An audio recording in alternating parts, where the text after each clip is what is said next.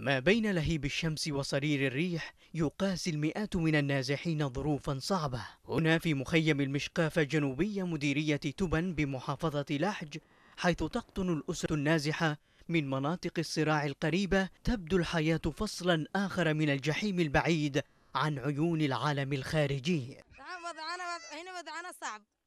على بلادنا بلادنا كنا مرتاحين ناكل نشرب برود وحطب عندنا موجود. كل حاجة موجودة. عندنا هنا صعب عندنا ال- الأكل ده حصاص وقالنا بين البرد ما فيش معانا وعيان ما فيش معانا سامن زي الناس.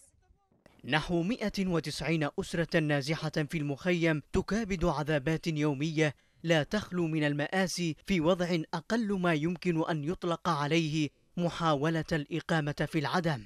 الجوع والأمراض المنتشرة في أوساط سكان المخيم سيما النساء والأطفال أبرز الشواهد في ظل غياب تام للفرق الطبية والرعاية الصحية في الوقت الذي ما يزال يشهد فيه تدفقا مستمرا لأعداد الوافدين إليه.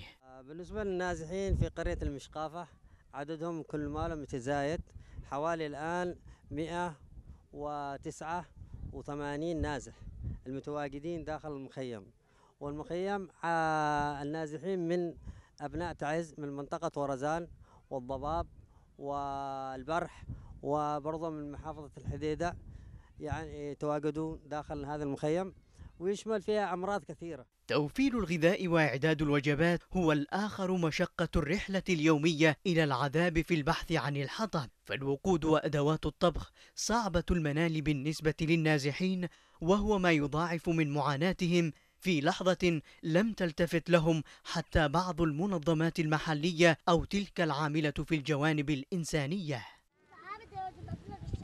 تتعدد ظروف العيش في هذه المساحة المخصصة فقط لاختبار البقاء على قيد الحياة. فالحاجة والمعاناة لدى مجتمع النازحين هنا في مخيم المشقافة في محافظة لحج يلخص صورة عما آلت إليه الأوضاع في أجزاء واسعة من البلاد خصوصا تلك الغائبة عن العدسات وشاشات الإعلام.